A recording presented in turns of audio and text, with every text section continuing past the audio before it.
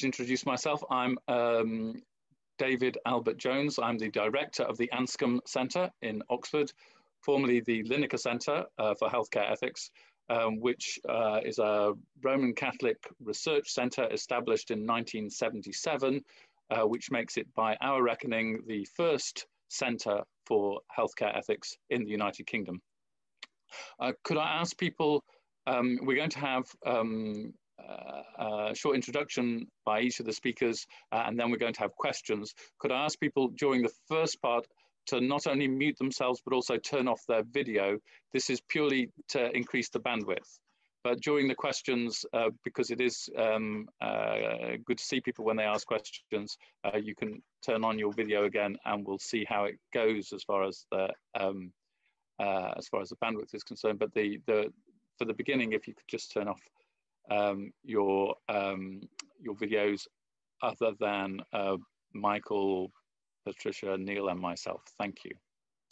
Um, so the, the Anscombe Centre, if you want more information about the Anscombe Centre, um, it's um, uh, the, the, will be on our website, um, which is www.bioethics.org.uk.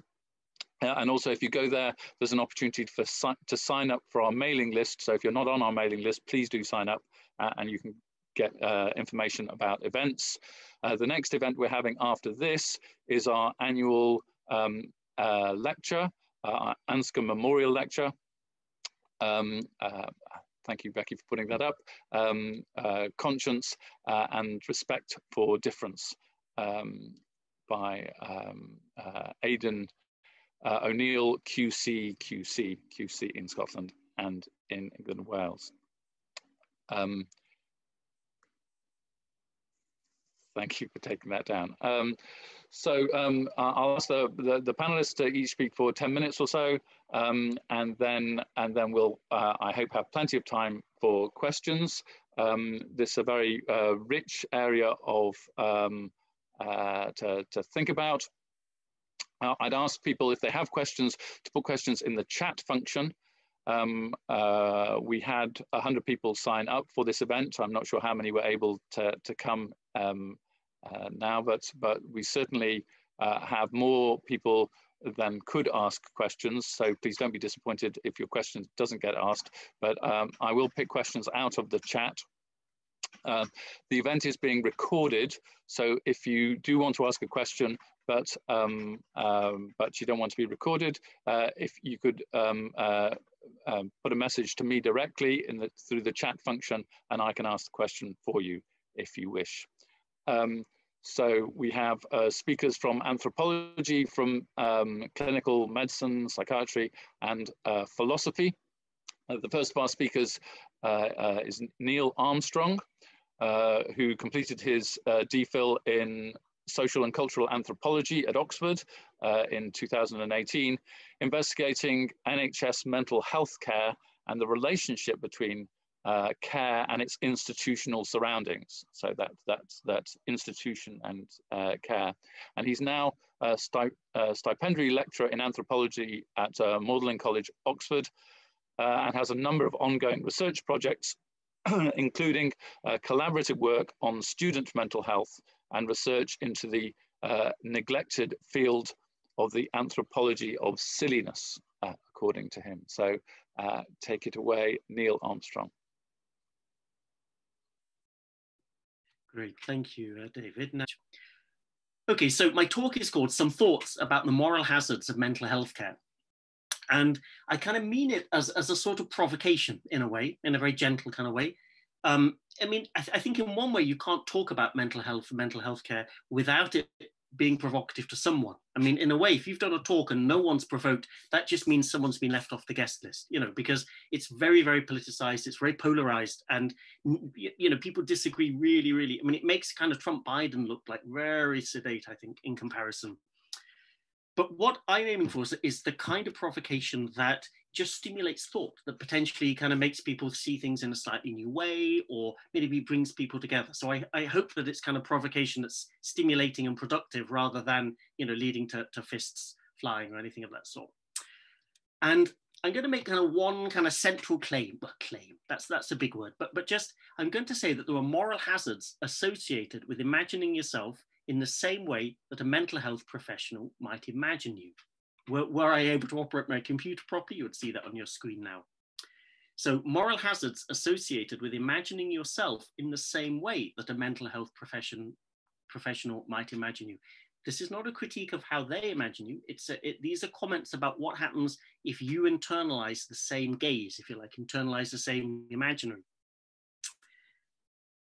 What do I mean by moral hazards? I mean I mean something quite soft focus really, and, I, and I'm kind of hoping that in questions people will will potentially challenge or have ideas or, or, or get, come back to me with something here. But my thought might be that moral hazards leave a person less well equipped to make moral decisions. So it's kind of kind of quite a that's quite a soft touch kind of thought. It might be, for example, somebody might be less self-knowing. They might have a, a weaker sense of, of their relationship with people around them, with the environment around them, um, and so on, or their, their sense of what their moral goals might be might be less clear or, or, or less well defined.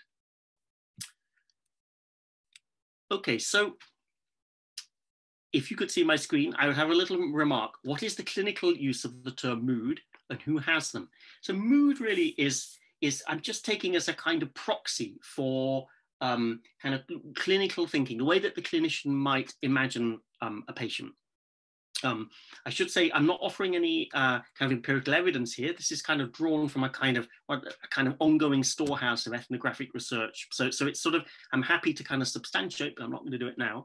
Um, okay, so, but, but broadly, what is mood? mood? Mood is how people feel in the moment. Good feelings, maybe there may be greater or lesser levels of good feelings, greater or lesser levels of bad feelings. Bad feelings are a bad thing to have. Good feelings are broadly a good thing to have, unless they get a little bit too much. Um, when, when people use kind of scores to try to quantify this, often a few more things are brought in. How are you sleeping? How's your weight? How's your attention? That kind of thing but, but broadly speaking, these are still very, very flat, very, very thin kind of categories. I mean, in, in a way, you might think this is barely scratching the surface of, of, of human life. And I mean, I think that my concern is what's, what's missing. I mean, what, what's remarkably missing perhaps is there's no positive concept of personality in, in uh, at least NHS mental health care. Personality disorders exist that might bring people uh, certain sorts of problems, but there's no sense of character, there's no discourse about virtues. Um, moral emotions are, are, kind of erased as well. There's really kind of no, not very little that's usefully, could be usefully said about, um, yeah, shame or guilt. And I think that, um, you know, this, this leap, the thought might be, well, first, in, very much in passing, why? Why, why might these very, very thin categories be the categories that clinicians use to imagine their patients? And obviously, this is a nice little crispy quote from David Graeber, who, who, who died actually quite recently, the anthropologist. Um, and he writes in a kind of punchy way, so he generally gets quoted quite a lot. I'm just going to read what he says, but I'm not going to go into it much more. I'm going to, again, I leave this for, for, for you to kind of respond to if, if it grabs your attention. But this is what David Graeber said, not about mental health care, but just about a bureaucracy itself. So this is kind of true of any bureaucrat, including, of course, a mental health care professional working in a bureaucracy. He says, bureaucratic knowledge is all about schematization. In practice, bureaucratic procedure invariably means ignoring all the subtleties of real social existence and reducing everything to preconceived mechanical or statistical formulae. Whether it's a matter of forms, rules, statistics, or questionnaires, it's always a matter of simplification. So he's really saying that if you bureaucratize something, there's always this kind of epistemic degradation, sometimes you know, other kind of commentators call it. Things always get simplified. The concern might be, do you want to simplify human distress? So I'm suggesting the moral hazards that I would, I, I, I'm claiming exist arise out of the reduced expressive capacities that are created by a clinical imaginary that's oriented towards helping clinicians make legible decisions within an accountable bureaucracy. That's a much longer sentence than I would have said had I known that you wouldn't be able to see my screen. Let me say it again. These moral hazards arise out of reduced expressive capacities that are created by a clinical imaginary that's oriented towards helping clinicians make legible decisions within an accountable bureaucracy. and I'm, I'm just briefly going to half unpack that by, by using the work of Miranda Fricker and her idea of hermeneutical injustice. Miranda Fricker's had this huge impact on um, uh, on uh, well, she, she, she, she's thought about she has this concept of epistemic injustice. It's been rolled out enormously across mental health care, potentially slightly more than than well. I mean, again, in discussion, I'd be interested to hear what people think. But I, I feel slightly in, uh, overstated sometimes, but there's really powerful here as well. And she has this idea of herme- in, in the case of hermeneutical injustice, she says that a language can, can be um, lack the expressive resources for people to make sense of important areas of their lives. So, so one of the, she has that kind of classic case, um, and that would be, uh, imagine you, are a woman working in an office in America in the 1950s. Um, this is a time before the category sexual harassment existed, but it's not a time, of course, before sexual harassment itself uh, took place. So a woman might go in, she may have somebody making kind of dodgy jokes to them on, in the lift on the way in. They might have somebody pressuring them into perhaps perhaps uh, going on dates that you don't want to go on, making kind of lewd jokes, brushing past you in a kind of dodgy way. Lots and lots of separate experiences with lots and lots of different colleagues. But what do you kind of, you know, what can you do with it all? Well, without some language like sexual harassment, you can't kind of make sense of it. You can't say, this is a phenomenon that I'm being subjected to in my office. And critically, you also can't do much about it. And what I'm, of course, what I'm kind of hinting at here is that these kind of thin categories that psychiatrists need to use because it helps them do their job in an accountable bureaucracy leave people a bit like the 1950s female office worker without the vocabulary to really make sense of their moral lives. And I think I leave you just, just with a thought, really, that, that anthropologists, amongst others, are, are, are concerned really about why um, the, the, sense in which mental health care may has has perhaps smaller effects, has less less clearly helpful effects than other areas of biomedicine, and why research feels stalled over the last few decades, um, where the new treatments aren't emerging, things don't seem to be getting any better. Um, and the thought might be that, that at least part of the answer might lie in questions that, that randomized controlled trials and, and the kind of mainstream research methods of biomedicine just aren't equipped to deal with. And, and maybe this is part of the problem, that, that we're imposing a kind of hermeneutical injustice on the users of mental health care, and that this is a kind of moral hazard, kind of moral harm that you do to someone, that you take very, very complicated, very, very important experiences of distress, of, of um, complex sensory experiences, problems with meaning, with your role in the world, with the sense of the barrier between you and the people around you.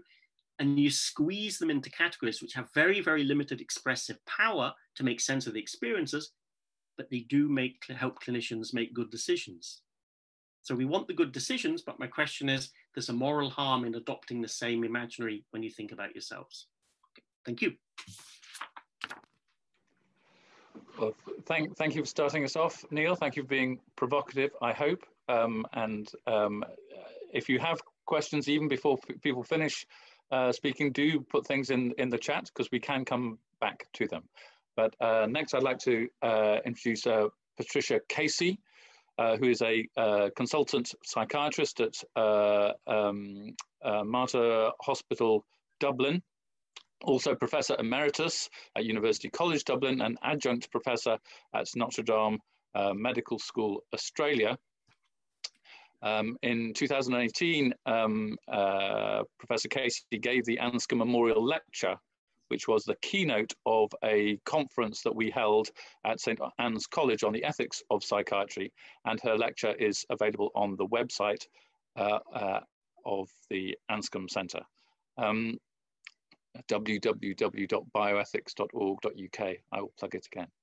Um, so if I could invite um, uh, Patricia to um, uh, unmute herself and share her video and uh, talk to us about uh, the ethics of psychiatry. Right. Thank you very much indeed, David, and thank you, Neil, um, for, for, what you said just a moment ago. Um, in fact, my, my, my talk two years ago at the Anscombe Memorial Lecture was the ethics of psychiatric diagnosis. Um, and I'm going to touch on that a, a, little bit here, but before I, I do that, I want to say I am a psychiatrist. I'm a doctor by training, then I specialize in psychiatry. I work in the Mater Hospital, which is the biggest um, public hospital in the country. Um, there is an inpatient psychiatric unit there. Um, um I prescribe medications. Um, I would take psychotropic medications myself if I had to.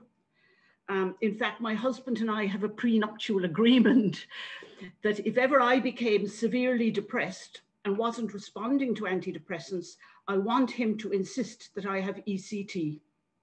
So that's our prenuptial agreement. It's not about money. It's about me, if I become ill, getting um, a treatment that works. If nothing else will work, of course, that, that, goes, that goes without saying.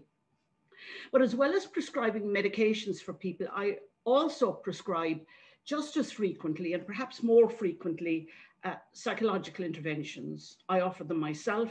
I send people um, to uh, psychologists for various therapies that I believe uh, they, their condition warrants and that we're told are evidence-based. Um, I also spend a lot of my uh, working hours and a lot of my consultations stopping medication because I believe that psychotropic medication is overprescribed. Um, I believe that some of the data suggesting that we have this epidemic of mental health, um, of mental ill health is actually wrong. And in fact, had we not had um, the COVID epidemic, I had um, and was accepted to do a presentation at the Edinburgh Festival.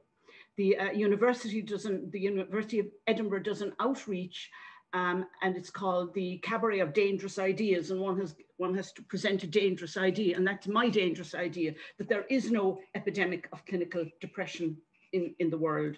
So what gives the impression that there is?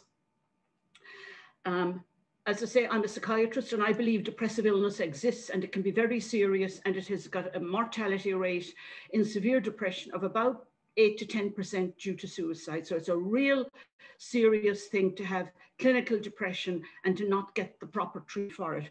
But what gives this impression that a quarter of the population or thereabouts um, need treatment for some mental health disorder at any one time and that about 24, about the same percentage will get depression in the course of their lifetime.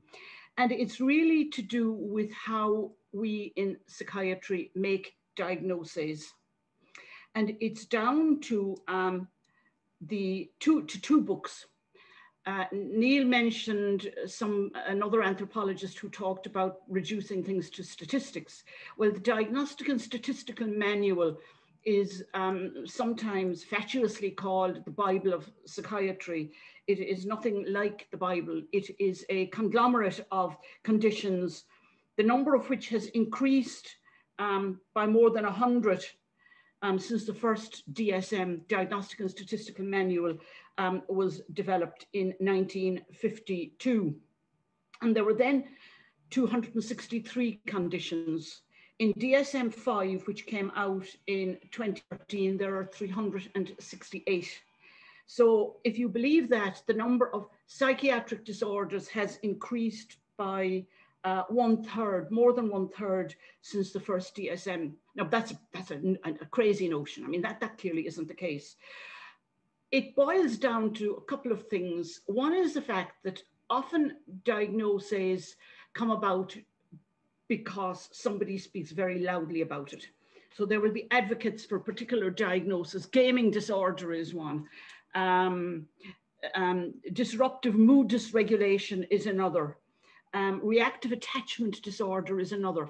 There are advocates who sit in on the, the meetings um, of this organization and they advocate, sorry, they advocate for these um, concepts. And he who speaks loudest is heard, and so they get included with very little, often with very little evidence. So by the time the next DSM comes about, some of the conditions that now exist will have gone. And for example, um, at one point, homosexuality was regarded as a psychiatric diagnosis. that, that went. Um, sadomasochism was regarded as a psychiatric diagnosis. That went. Narcissistic personality disorder was regarded as a, as a category. Then it left and now it's back again. So these things co come and go. And it's, it's in some ways, um, I'm embarrassed to be part of that um, kind of profession that so glibly invents conditions. But I also feel that one is best challenging this from the inside out rather than leaving. Now, I'm not a member of the critical psychiatry group. There is a group in psychiatry called the critical psychiatry group who don't believe that psychiatry, psychiatric illness exists. I do not for one moment believe that, as I think I have already persuaded you. So, so there are all of these diagnoses that are coming and come and go, and they're made based on symptoms. What does the person complain of? And so the symptoms are ticked off. There's a tick box procedure. So in DSM 4 or 5, you could get diagnosed as having major depression if you have uh, five symptoms for two weeks or more. Now, the symptoms, mind you, have to be there most of the time. But think of it. Um, if um, I have had um, a, bad row with my best friend, or worse again, say with my husband, not that he rows, I'm afraid he might send me for ECT if we did. But if we, if supposing I had a terrible row with him, I'm sure I would have five symptoms for two weeks because put yourself in the position of somebody you've had a big dispute with somebody you care deeply about. You certainly wouldn't be sleeping. You would be very worried and upset and distressed about it. You'd be thinking about it a lot. You'd be probably crying about it if separation was on the cards. You may not be eating well because people, when get distressed, get distressed even when their cat is sick. They often don't eat because they're worried. So you probably wouldn't eat. You wouldn't be concentrating very well because you'd be talking about it all the time, and so on. So you could easily get your five symptoms for two weeks and be diagnosed as having major depression and got, get put on antidepressants. And that is not a healthy way in which diagnoses should be made. I believe that diagnosis should be made not just based on symptoms, but I believe they should be based on, firstly, what we know to be the cause, the etiology. And I somewhat disagree with Neil, who observed that, you know, in psychiatry, treatments and knowledge about it seem to be static. The neurosciences is developing very rapidly, and I'm hoping that there will be some reprieve. I mean, Neil is right, there aren't many new treatments on the horizon, but um, uh, in terms of medications, um, or indeed even psychological interventions. But I think the neuroscience is throwing up um, some new ideas, particularly about, particularly in relation to imaging studies in the brain that are focusing on um, ex psychological experiences and how they're mapping onto parts of the brain. So I would like to see us move to look at what is the cause, what are the abnormal biological underpinnings of these syndromes that we call mental illnesses. So, so some prerequisite underpinning feature that, that should be biological. I would like to then see the symptoms, but I'd like to see the symptoms weighted because there are, for, for any one condition, there are only about nine or 10 possible symptoms you can have. And in, in, in the current system, you, you, you, these symptoms are not weighted. They're all given equal weight. So a suicide, if somebody who is depressed and has a suicidal plan, that exactly has exactly the same weight as not eating. And clearly that's, that's wrong. Clearly some symptoms should be given stronger weight as they used to be in the older classifications. Um, certain symptoms like feeling worse in the morning, um, waking early in the morning, having suicidal ideation, being agitated, were all given more weight in diagnosing what was then called endogenous depression. We don't have that anymore, and I believe we should return to that. And I believe we should also base diagnosis on the core, if the person has had prior episodes, what the likely course in what the course in the past was and what the likely course into the future is. And only when we arrive at that level of knowledge should we call these psychiatric conditions. So I believe there should be much tighter control of these conditions for which we prescribe various interventions, medications or psychological interventions. Um, I know that some people will will be concerned that uh, you know about the use of medications to help things like mood or anxiety and and that, but I think we shouldn't be pitting drugs against psychotherapy. I think we have to, for each condition, evaluate each and see what works and what doesn't work. The same as happens in general medicine. So, for example, if somebody has a psychotic illness, um, they would not respond to um, psychological to psychological interventions um, except for isolated symptoms like hallucinations but overall the person would not be restored to functioning unless they take medication and there's a very famous medico-legal case that involved a doctor in the US a few years ago um, it was called the Orfet case or the Orset case. And this doctor uh, was developed a psychotic depression. He had delusions of guilt and delusions of ill health, and he was admitted to a, a hospital, a psychiatric unit, who, and they refused to um, give him medication. Instead, they offered him psychological therapy for seven months, which didn't work. And he then took his own discharge and went to another hospital where he got antipsychotic medication and within a month was much better.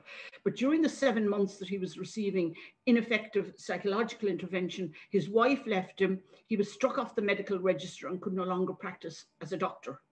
So I think we have to be careful what we wish for. And I, I don't think we should be um, um, poo-pooing um, pharmacological intervention um, and saying everything that's psychological, all psychological interventions are good and pharmacological interventions are bad. It just doesn't work like that. And a good psychiatrist will recognize that. So I think we have a lot to do in psychiatry with regard to how we classify psychiatric illnesses, how we make diagnosis and how we prescribe.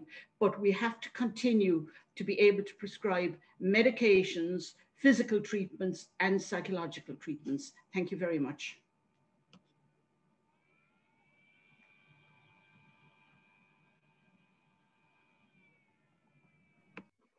So th thank you very much, uh, Patricia. And um, uh, third of our panel uh, is Michael Wee, who is Education and Research Officer at the Anscombe Bioethics Centre. Uh, he's also a PhD candidate uh, in philosophy at Durham University, where he is researching on uh, Wittgenstein's philosophy of the language and its connection to ethics.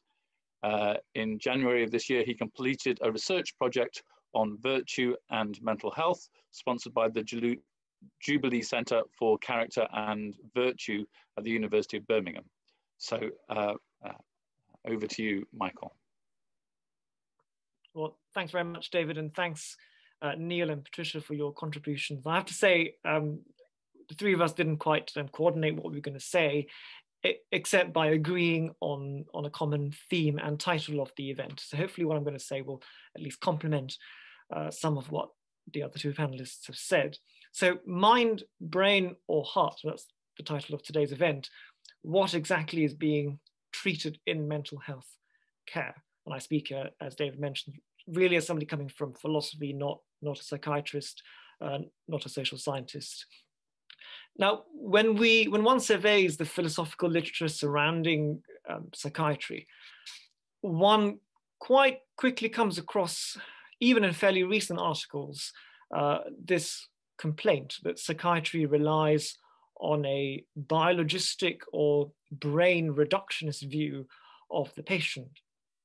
Now, I'd like to start by saying I, I wonder if that has become more of a trope these days, and a, and a very tired trope at that, as opposed to a valid criticism of the reality on the ground of psychiatric care. Now, once upon a time, there was much more of a, an aspiration that mental illness, all mental illnesses could be scientifically explained, that is by means of physical evidence. And one of the most popular candidates was, was a you know, particular brain lesions corresponding to particular um, psychological illnesses. But that hope, I think, has run its course and has largely faded, at least in that total sense of total explanation.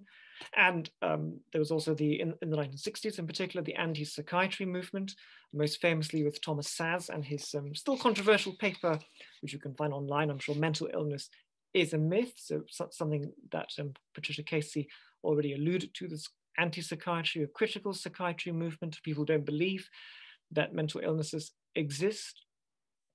Anyway, I, I, so I once asked a, a practicing psychiatrist in the UK about this, about his thoughts on this, this common criticism. And he said, and so, what, do you, what do you think about all these philosophers and, and other writers who, who say that um, psychiatrists still believe that happiness and, and well-being can be quote unquote pharmacologically induced. And he thought that was very much a caricature. Uh, that you know the, the, the, idea that psychiatrists see their patients as a bunch of brain cells to, to be treated, to be corrected, uh, to be uh, modified in their brain chemistry. So that was that was plainly wrong in his experience in, in the UK. So now I now personally for one I I, I don't doubt the uh, the efficacy of psycho, um, psychi psychiatric medication where appropriate. I'm not a I'm not qualified to comment on when that is, but I don't doubt in general it has its role. Um, though I don't want to disregard the problem. I think there is a kind of stereotypical image of psychiatry being um, uh, at prey to you know big pharma and, and interest groups you know lobbying for pharmaceutical products and and perhaps in some countries more than others there is th that problem is, is is larger but but by and large i think in my experience at least and, and anecdotally as well it doesn't seem to me that, that psychiatrists necessarily treat their patients as a kind of as a bunch of brain cells to be to be corrected um, and you know, psychiatry has moved on from the 60s, from those debates with anti-psychiatrists. So we recognize, you know, broadly, I don't mean we as in I'm not a psychiatrist, but broadly speaking, researchers often recognize social determinants of mental health. Uh, you know, financial problems, for example, the, the effects of economic downturns.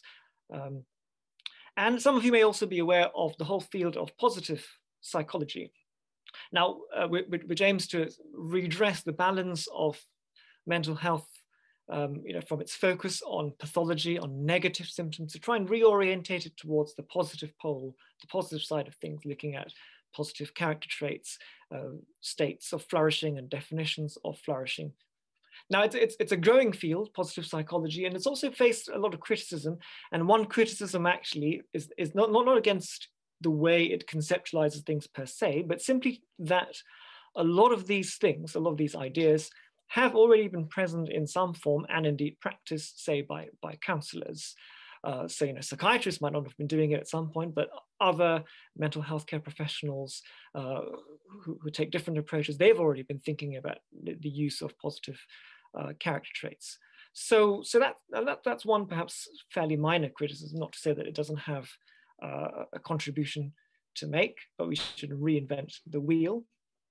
But all of that, I think, engages with a much more mature understanding of the nature of mental illness. Now, as, as Patricia's already pointed out, and to some extent, to some extent, Neil, this is still a work in progress, but, but we do have a slightly better understanding of mental illness compared with, you know, a couple of decades ago.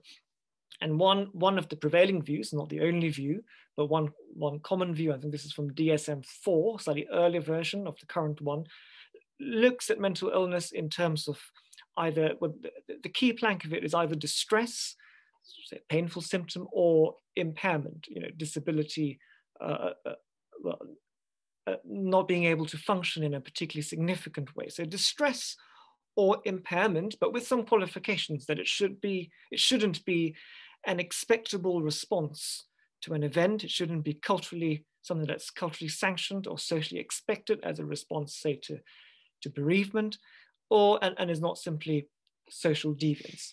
Now, uh, and I think this you've already heard from, from Patricia, that the, the way that some psychiatrists approach or perhaps omit that qualification, that it shouldn't be an, expected, an expectable response to an event, say quarreling with your husband or bereavement. Now that certainly causes problems for diagnosis, but I think if we had more of a sense of that as a necessary caveat, now we can talk about what is an expectable or normal social response, but if we have that in mind, then that will solve some, some problems.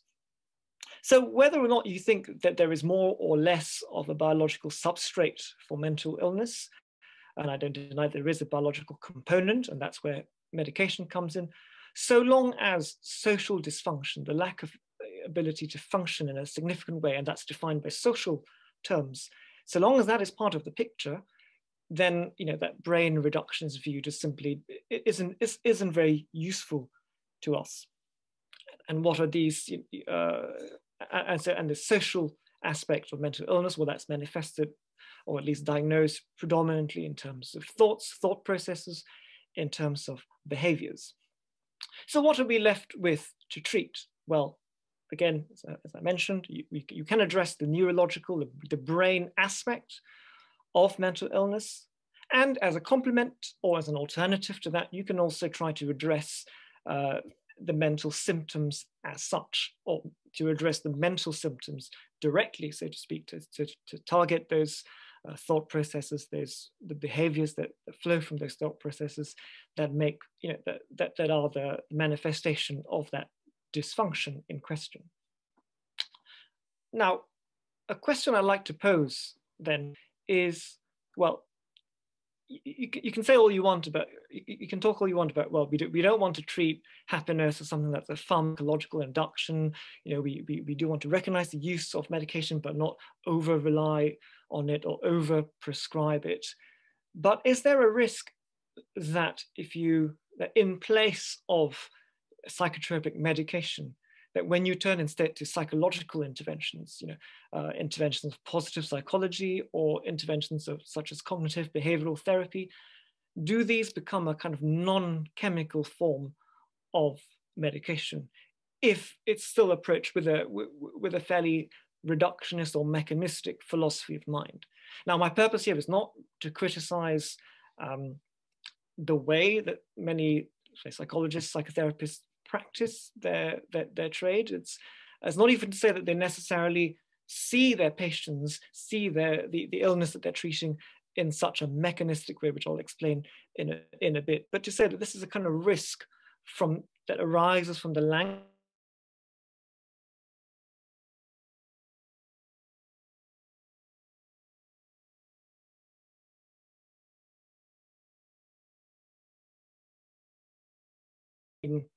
virtues or uh, positive character traits and mental health. And um, now it shouldn't be it shouldn't be a surprise that having a healthy mind is, you might say, constituted in part by the presence of some of these positive traits. Uh, I say I say the word constituted rather than caused. It's it's fairly it would seem fairly obvious that if you are if you are of a healthy mind, you would have a fairly normal range of virtuous or shall we say positive character traits, behaviors, behaviors of gratitude, pro-social behavior, and such like things. Now, the literature surrounding this correlation in positive psychology is fairly rich, it's broad. There's a lot of different uh, positive character traits being studied in relation to various states or reports of positive well-being or, or indeed of mental illness or at least uh, a lack of flourishing.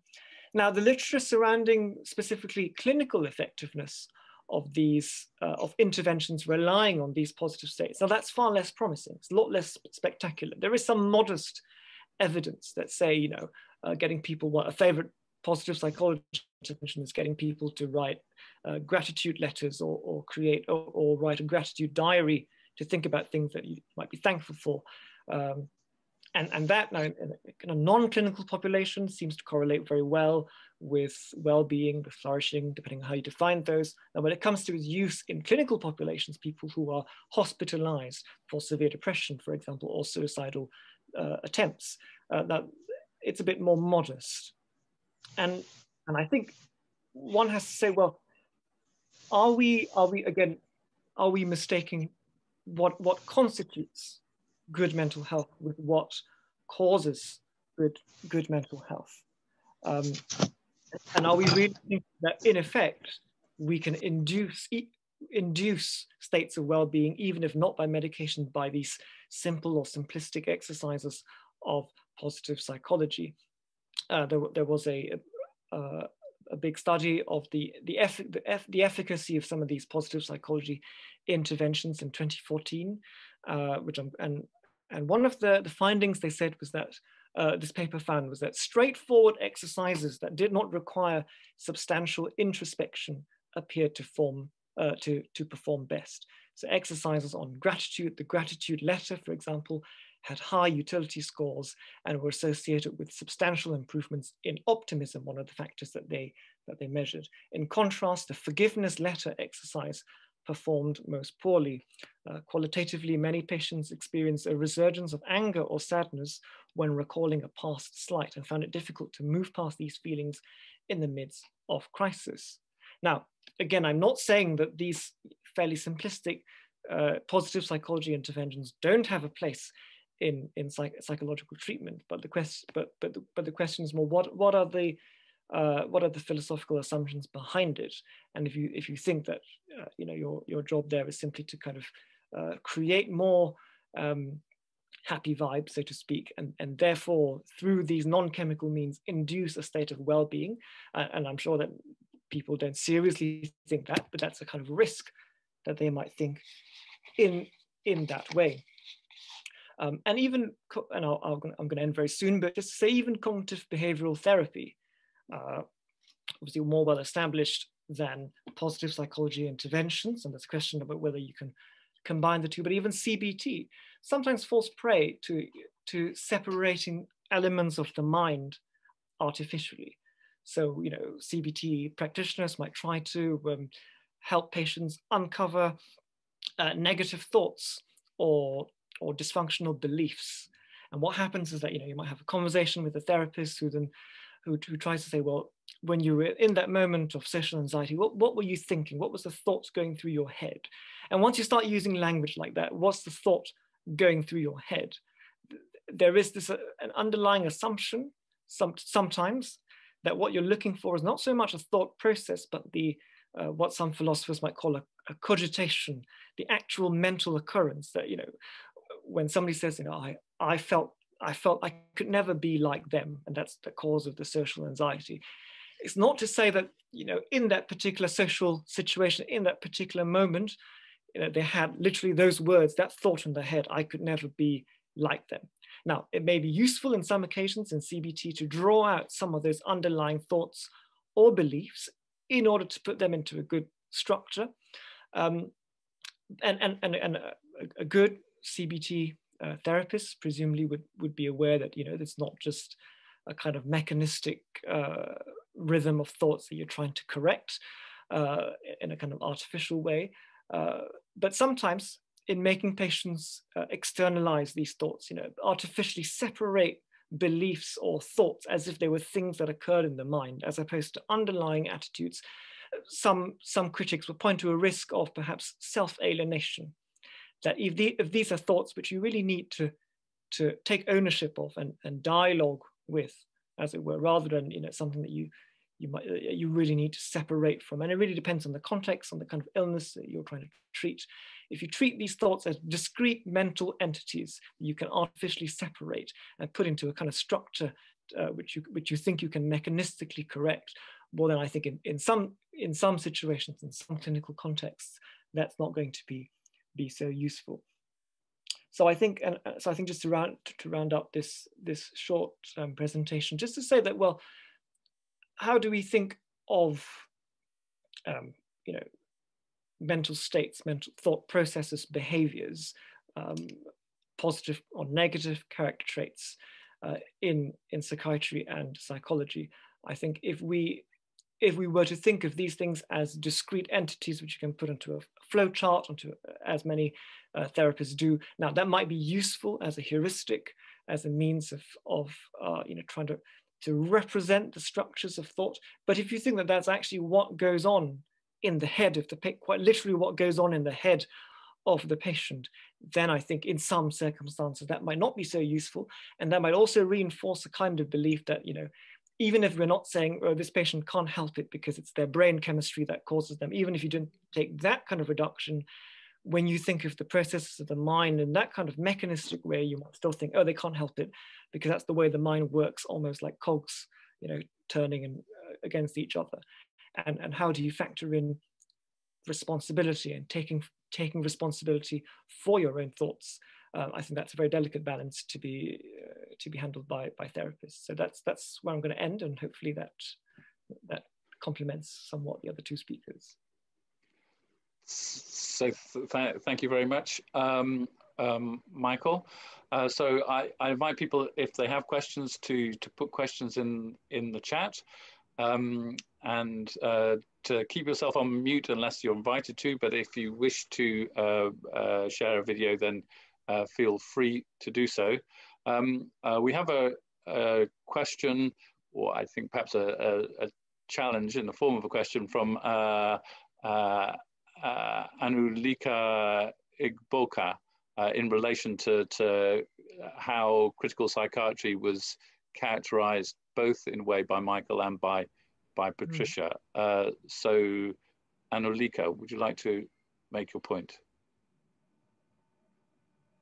Um, yeah, I was just going to say that the um, critical psychiatry network, uh, I don't, I remember it, I don't get the impression that it, it says that mental illness doesn't exist. Um, I think it's more just taking a um, a stance that that that the sort of reductionist approach to uh, to assessment diagnosis um, and management sometimes um, sort of needs to be perhaps challenged um, to to some degree, um, and I think it's obviously it's, it's made up by various members and people with different stances.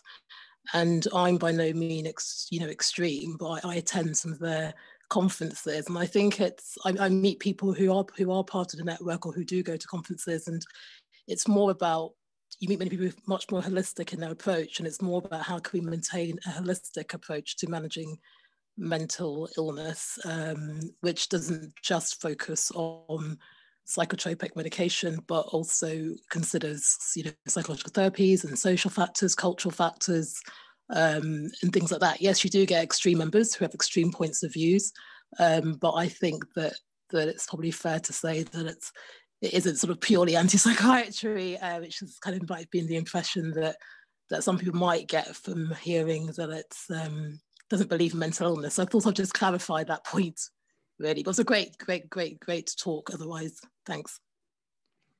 Would you, would you like to respond to that, Patricia? Yeah, thanks very much indeed, and th thanks for the comment. Um, the reason I said it's anti-psychiatry is because um, the anti, because the critical psychiatry group um, challenge the use of psychotropic medication, even for, for you know, severe depression, but also they challenge the concept of diagnosis. And so if, if, if you can't diagnose an individual who describes a particular cluster of symptoms um, and, and, uh, uh, uh, and, and diagnosis is central to how you treat somebody across, across medicine.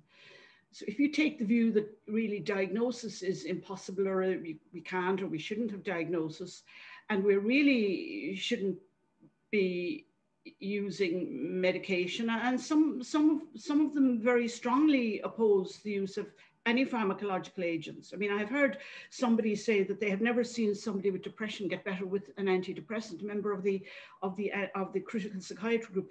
So I think with that constellation of attributes, it is safe to say that there the, the group's understanding of psychiatry differs from that of most of us. It's also untrue to say that we over rely on medication. I mean, I prescribe and refer people for psychotherapy as often as I give them medication. Um, and I, I, mean, I, that isn't unique to me. That is how psychiatry works. We talk about the biopsychosocial model of psychiatry that is supposed to operate now, and we do take account of all of those of all all of those factors.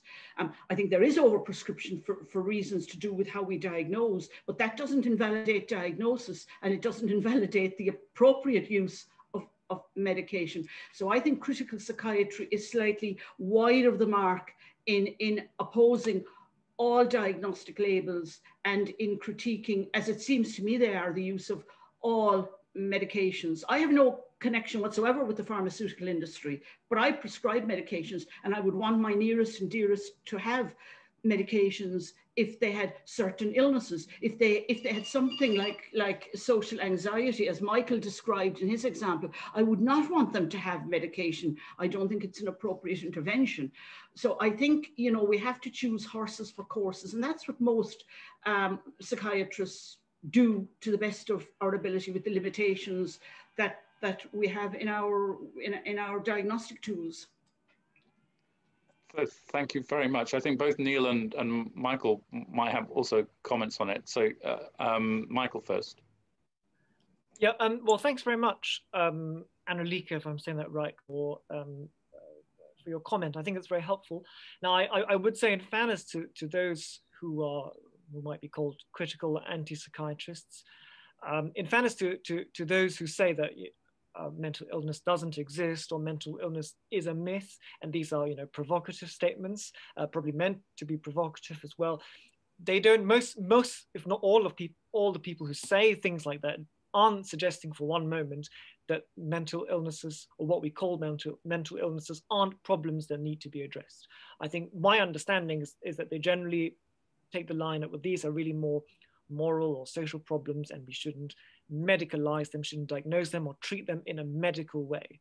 And I think my, and I'm not, and I, and I think that, that some of their crit criticisms have, have you know, validity, they have genuine insight, but my, a very brief response for me would be to say that, well, it, uh, first of all, it depends on what you mean by my illness. You know, mental illnesses might not be natural kinds. They might not be, you know, like COVID-19, like a like an infection that you catch.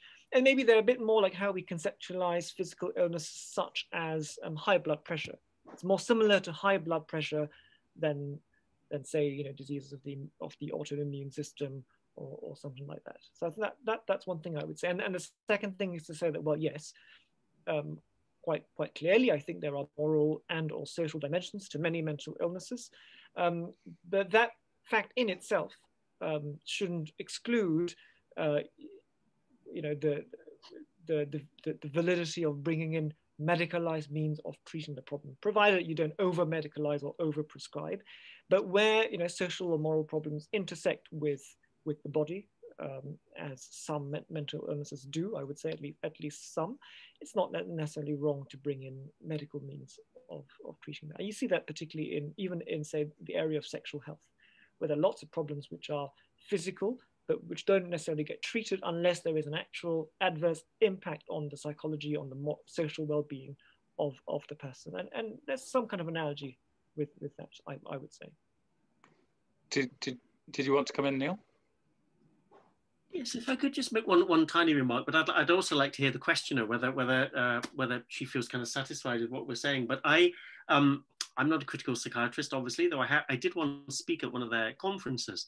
Um, um, the, the, thing that I would say is I think their views are much less extreme and much less um, sort of, uh, yes, much, much less. Uh, I think they're much more widely held than you might think.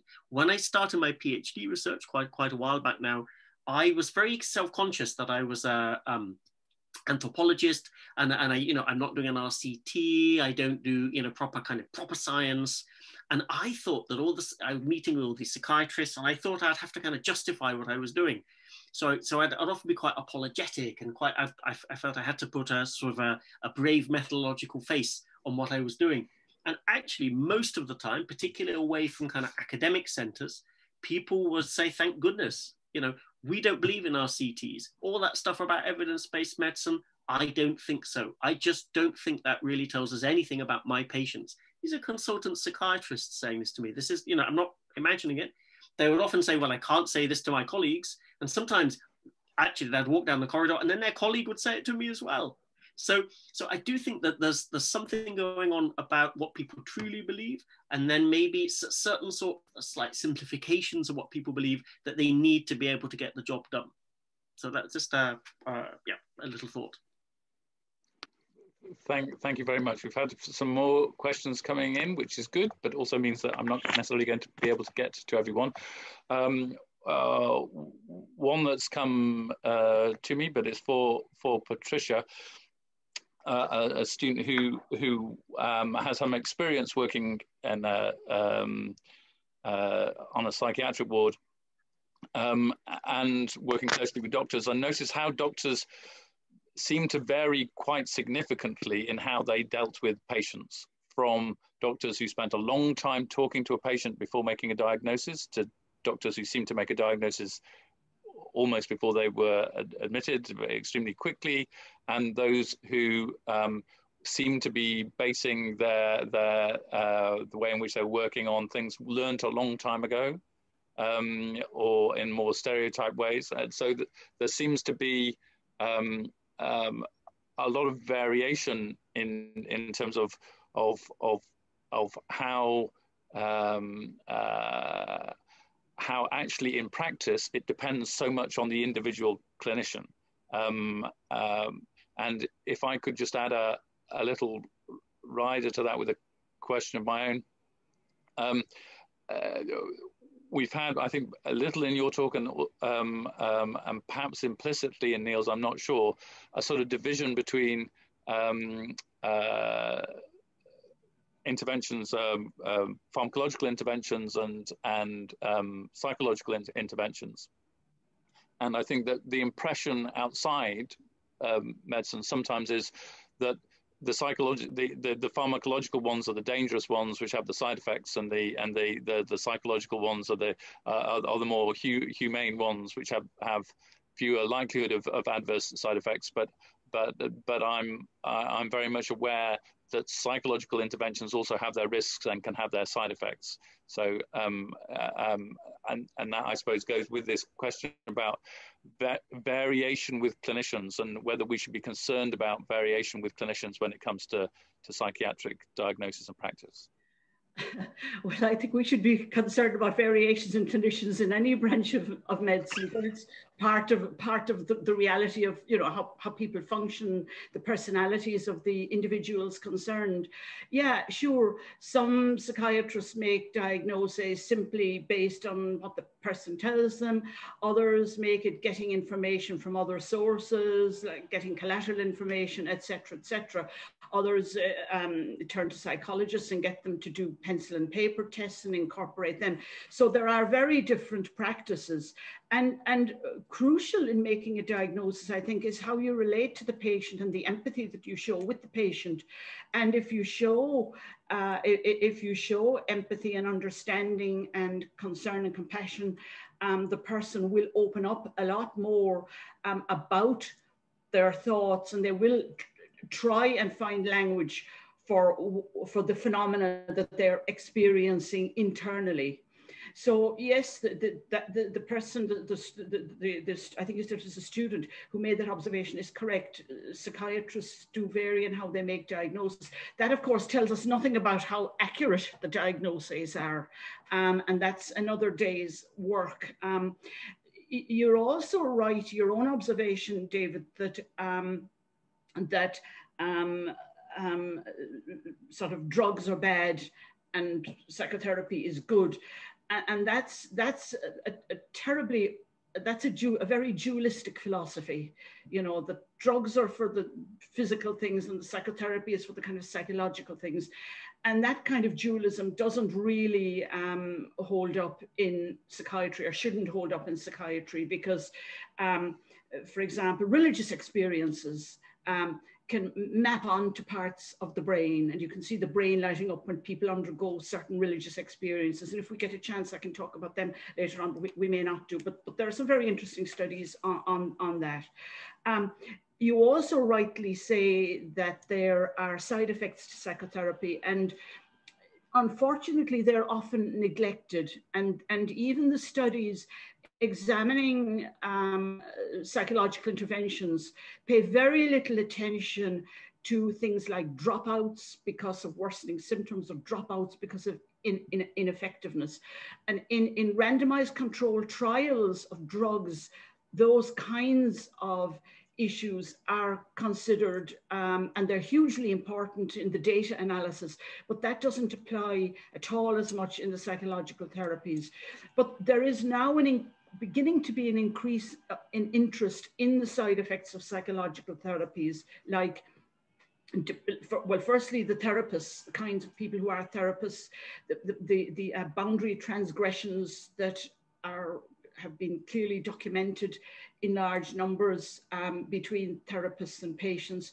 Secondly, the therapies themselves, you know, the, the, the dependence they can induce, the worsening of symptoms after therapy begins, the fact that people's range of um, schema for solving problems changes and they use the model that the therapist uses when they're making decisions themselves afterwards rather than using other models. All of these kinds of side effects are only beginning to be to be studied now. And there's a psychologist um, called Lilienfeld who has written quite extensively about about those um, side effects. I think David Lillian Lilienfeld this is, is, is his first name, David Lilienfeld, and, and they're worth reading. He's gone into this in quite considerable detail. So there is no intervention without its side effects, and psychological interventions have them as well, but they're not as clearly or as easily acknowledged as are those attached to, to pharmacotherapy. Uh, do, does uh, Michael or Neil, do you want to come in? No. Uh, uh, there's another um, question which came in earlier for, for, for Patricia. Uh, I think it's Tabs Preston um, in relation to, to mental illness diagnosis.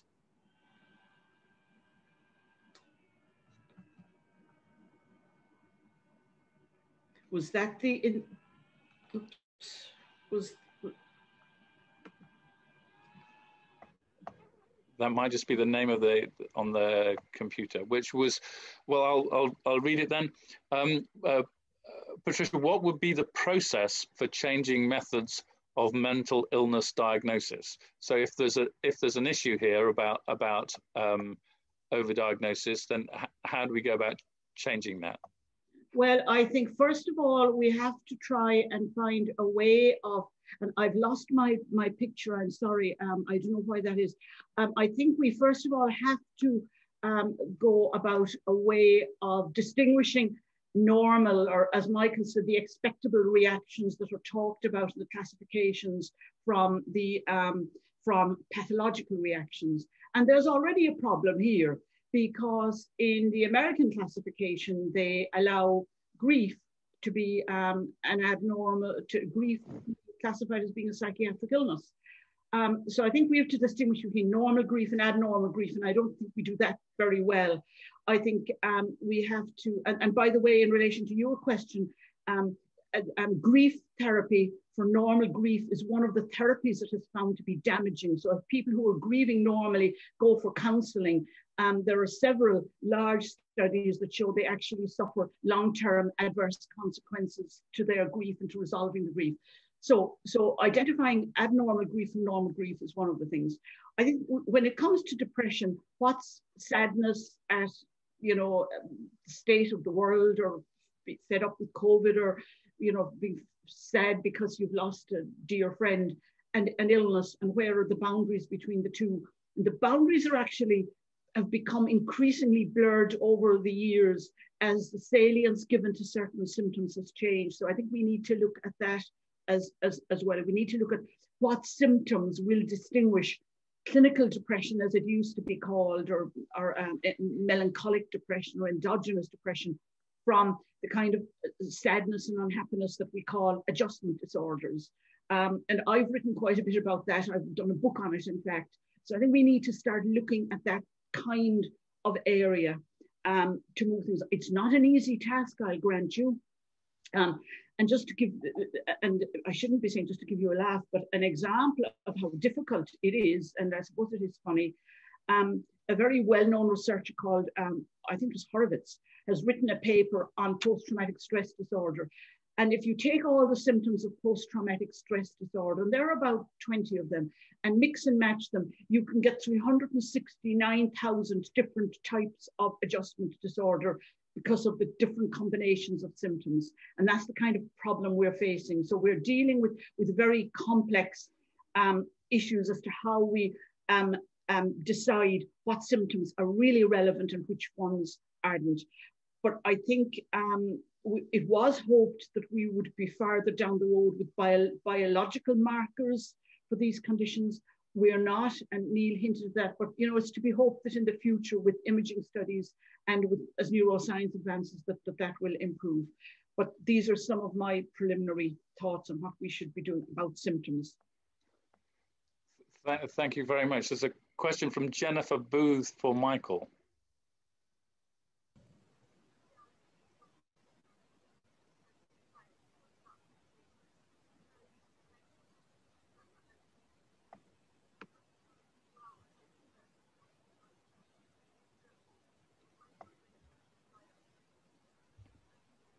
Jennifer? Oh, we can't hear you.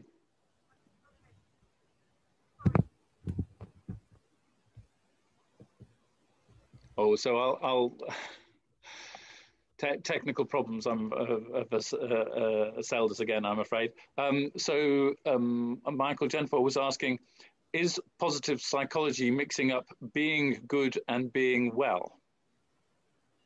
Yeah, well, that's, I mean, that's a tough question. And I think it's not, it, it is often raised in, in the literature. I think there's a question of, well, first of all, a question of circularity between um, concepts of virtue or moral goodness and concepts of, of mental well-being, social well-being, flourishing. Uh, and uh, so I'm just going to read you a quote by, by one critic of this kind of positive psychology, who writes in 2008, uh, the investigators of these studies found that patients who reported that they felt peaceful, had a reason for living, had a sense of purpose and meaning, and felt a sense of harmony and comfort were less likely to be suicidal, hopeless, or experience despair. Is that not obvious? Are such findings reportable in one of the world's top medical journals? Now, I think, now my response to that would be to say that in, in, in one sense it is obvious, um, and you know, one, as I said in my talk, one should not be surprised that people who are mentally well uh, tend to also have um, display behaviors of you know, pro-social behaviors, altruism, they're able to feel normal range of being happy, being grateful, and, and, and such like things.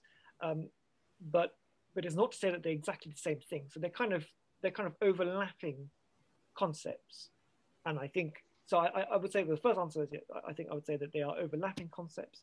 And the second thing to say is, well, then translating them because they are they are overlapping in very intricate and complicated ways, translating that into successful interventions gets more becomes more of a tricky business uh, because um, you know being being mentally well might be constituted in part by uh, being able to feel grateful. Gratitude is one of the most common traits looked at in positive psychology. But does that mean that therefore, when somebody is not mentally well, uh, you can make them well in part by making them feel grateful again? One, the first doesn't you know, um, imply the other. So I think we've got to be quite careful about the exact relationship uh, between the two. And I think that's better answered from a conceptual point of view rather than just from, from looking at the, the evidence base. Thank you. Do you want to come in, either Patricia or Neil? So, um, sorry, uh, sorry to interrupt there. Yes, I was just trying to unmute myself. Just to say, I think what the virtue Michael is talking about is what we would call resilience or would be contributing to resilience. And we know that resilience is very much um, in the minds of psychiatrists and psychologists. So we do try in therapy with people identify their strengths that may at the time during an episode of illness be, be hidden. But uh, we try to uh, identify what what supports they have, where they draw resilience from, um, and that would include the, the, the, positive psychology and virtues that, that you mentioned. So um, yeah, so, so just, just, just to put it in that context. Uh, so in, in terms of being being good and being well, it's it, it is also the case that sometimes being good means that people sacrifice the opportunity to be well. Um, so people who um, in in cases of in times of crisis, people who who work, you know, long hours or go to very dangerous places or uh, have other kind of sacrifices for the sake of of doing some good deed, may be quite traumatized by it. Um, people at the moment who are uh, working um, in, in, in, the health, in the healthcare sector, many of them are quite traumatized by, by some of the things they are being forced to do. And, but those are, are, are they're doing because um, uh, they're, they're being impelled by, by, by virtue, by, by, by goodness. So certainly at least some of the time and at least in a um, in particular context, uh, being good might um, uh, might lead you to, to, to, situations where where it's difficult to also uh, be well, um, as um, as as Victor White I think explored in in Soul and Psyche um, many years ago.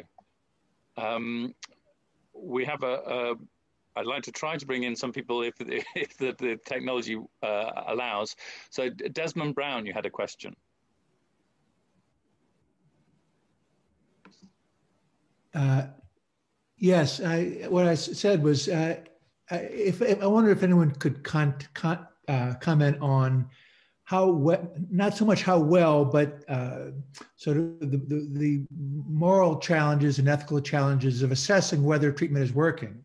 You know, as simply as, and that would include both pharmacologic and uh, and other types of treatments in the sense that who gets to decide when a treatment is working and is effective. Um, how, you know, ECT was mentioned earlier in one context, and I know of uh, very good places that do a lot of ECT where their uh, the, their ability to assess whether it's really working is really pretty primitive. Um, and I also uh, wonder some often about uh, the stopping of psychiatric medications and uh, how that is perhaps not done uh, as often and in the way that it should. So if anyone, a particular uh, Patricia could comment on that, I'd appreciate it. Um, for, I didn't know there was anywhere in the world now doing ECT. We, we hardly use it at all here now. So I, I, I can't comment on that much anymore. But in relation to how long medication works, I mean, we know from, for example, um, studies um, that um, people need anti after first episode of depression, your risk of relapse is highest in the first six months. So you you you need you need to continue antidepressants for six to nine months and then stop them. With with in schizophrenia, when antipsychotic medication is used for the first time, you need to keep, continue it for two years. Um, so we have that kind of data from scientific endeavors down down the years that may, may, may or may not, of course, be, be, cor be correct, but that's that's how we um, make the, the decision to to discontinue or stop medication. And then, of course, if the person um, relapses, the same as with any condition, medical condition like hypertension or diabetes or anything, if somebody relapses, you then re resume the the um, the medication. Um, th there is there is a problem, I accept, in that sometimes people will be on multiple medications simply because the prior one that was ineffective wasn't stopped. So that, that is an ongoing problem in psychiatry, and it's a very basic one. Um, but um, it's commented upon whenever psychiatric units are visited, certainly in Ireland, that there's polypharmacy and overlapping medications that really um, shouldn't shouldn't be used in that particular in that particular way, except in very extenuating circumstances. Um, um, yes, I, th I think that was all. The, that was was that all that was asked, David? Can you remind me? Was there any other? Element? Yes, that that's along the lines. Thank you very much. Thank you. I, I have another question which has been asked to, to me privately. This board this borders on a clinical question. So do do be uh, uh, clear if you don't think that it's appropriate to answer it. Um, but I, um, somebody's asking about the best course of um, treatment in relation to hormone-based depression, such as postpartum or um, um, miscarriage or um, that might, which might be associated as a side effect of hormonal contraception, uh, which I guess is a question for, for you, Patricia. Yeah. Um, hormones really, apart from the low mood accompanying the menopause, sometimes hormones aren't usually used for the um, for the treatment of hormone related or what appear to be hormone related depressions like postnatal depression, um, um, perimenopausal depression. um, or post miscarriage depression or indeed post abortion depression. Um, the in, if you look up the Royal College of Psychiatrists website, they have a really really good um, section on postnatal depression and um, and hormone type related depressions. And there's a lot of interesting material there. If we just go to royal college of psychiatrists and go to um, i think it's leaflets um, that's the section you find it in. And there's a huge amount of information there from the perinatal mental health group.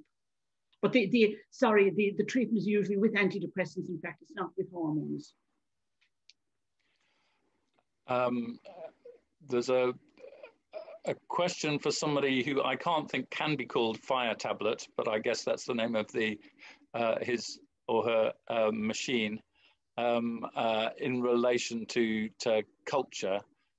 Um, would, uh, would would would Fire like to to ask the question?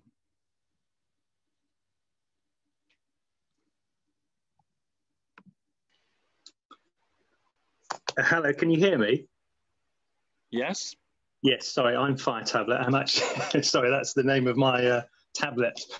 Uh, my name's Tony Coyne. Um, I, I, can't quite remember what my question was, but it, it was uh, to do with the uh, issues of culture. Um, I'm actually a, a lawyer, so um, I'm I know I'm straying into an area which is very unfamiliar, but um, I'll give it a go anyhow. Um, my, my, question was really concerning um, the fact that uh, uh, to my mind, sometimes mental health comes from um, societal issues. And um, in one environment, um, something that might be mental health is, is viewed as, as a mental health, whereas perhaps in a completely different environment, it wouldn't be. And again, uh, I probably got the, the, the, the um, clinical issues totally wrong around this. But for example, in Japan, uh, I understand that the response to the menopause is is this is is is, is is not to have a, a hysterectomy, but it's to sort of, you know, um, uh, uh, there's another approach. So I, I, wonder whether perhaps we in the West, in our approach to um, um, psychological um, trauma and the likes, um, whether we look beyond uh, what what we see here in the West, or whether we look elsewhere and finally, I know I'm rambling a wee bit, but um, how can you therefore have a, like a, um, a, a, um, a, uniform approach to, to, to, to various conditions if there is perhaps overlaid an environmental um, societal issues that we may not necessarily have in England as opposed to Japan? Which I'll I think, which I think must be a question for Neil.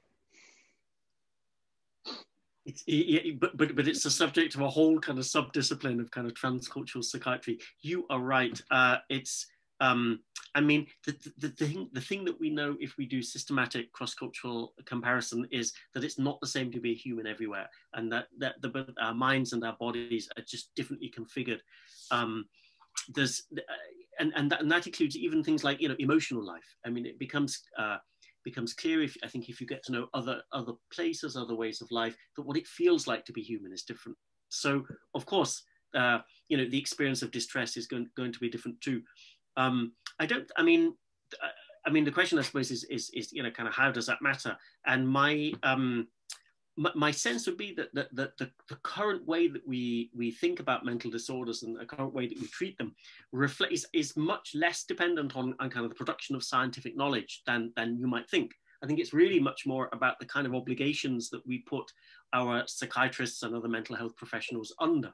So if you if you look, for example, in the 60s, 70s, when you had much less kind of accountability culture, people didn't actually use diagnosis as much. You had all sorts of different kind of things going on not necessarily better, just different. I mean, in a way, I don't know what's better and what's worse. But what I suggest is that the regulatory culture has been transformed since then.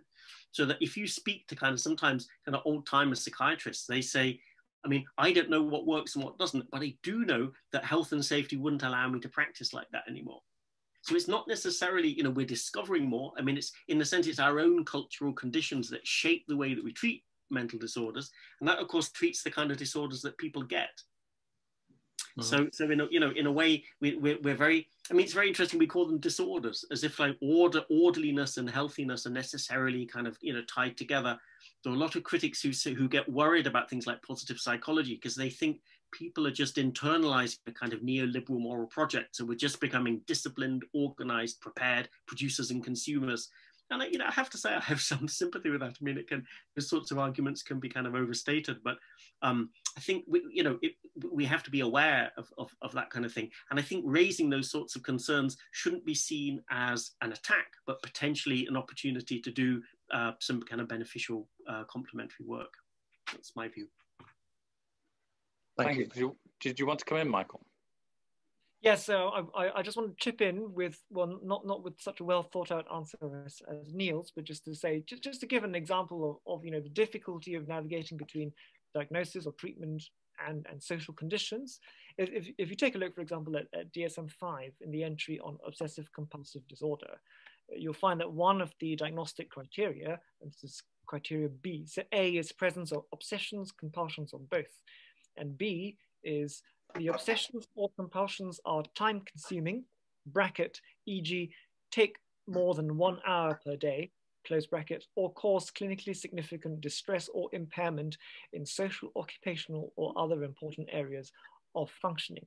Now, immediately, just from, from listening to that, you can just, I'm, I'm sure it's obvious to most people, to most listeners, that now, how you, you, you, you think about the theology of that, about how that fits into the person's social context is going to be a tricky, a tricky business. I mean, I was struck by what Patricia said in her, in her opening talk about you know the need to weight symptoms i think going even more than just you know, numerical weighting of symptoms you really have to look at it in terms of of the overall context i mean it, perhaps in in some cultures you know some some behaviors would be in other in a different culture would be considered borderline ocd likewise to say that it takes up more more than an hour per day i mean i know without naming names i know of somebody who was you know seeing a psychiatrist for about you know um, for the first time reporting, you know, hand, hand, washing rituals and things like that. And the psychiatrist was getting a talking to this person about, you know, the, the various symptoms they were they they seemed to be experiencing. And at some point, the psychiatrist said, "So, and and how much?"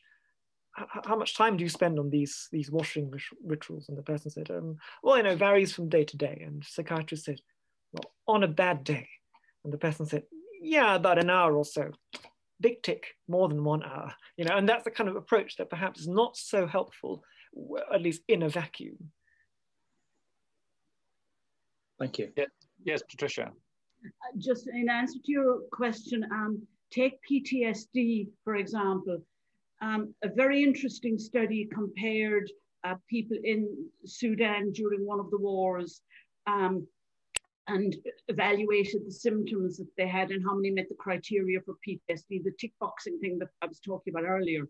And most of them didn't regard themselves as having any psychiatric disorder at all. They saw it as, you know, a, a trial from God, and they were sort of turning to their um, own healers. And the man called Derek Summerfield, who's actually written quite a bit about the cultural background to the diagnosis of PTSD. Um, and he has been very critical of it. And, um, and so you might find it interesting to read some of his stuff, Derek Summerfield. Thank you. Thank you. And I think, I think we, sorry. A big one. You might you might wonder why I gave the example of uh, hysterectomies in Japan. Is that my wife is Japanese and she uh, she used to practice as a nurse. yes, my my wife is also Japanese and and. Ah. Uh, um, um, she has low, or she used to have low blood pressure, and in Japan they gave her amphetamines for this and she came to a GP in in in, in the UK, and they said uh, the kind of low blood pressure you have is is not a disease in England. Yeah, yeah, indeed. Um, so uh, yes, um,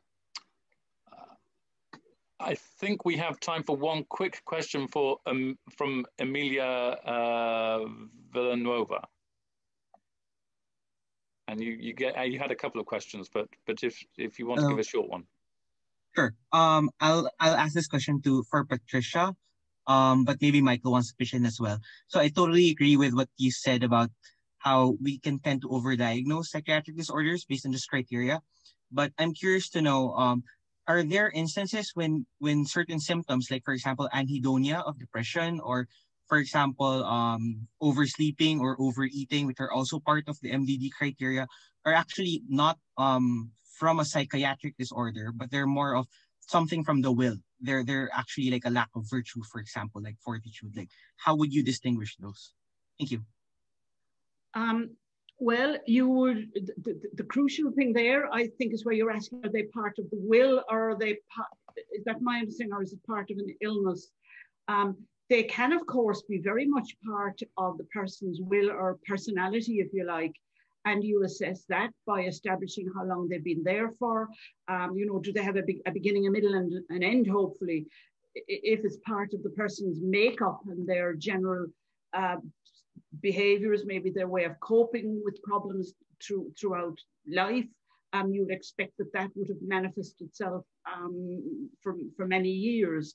If it's of recent onset, um, you know, say the person is 35 and they suddenly start overeating um, or oversleeping,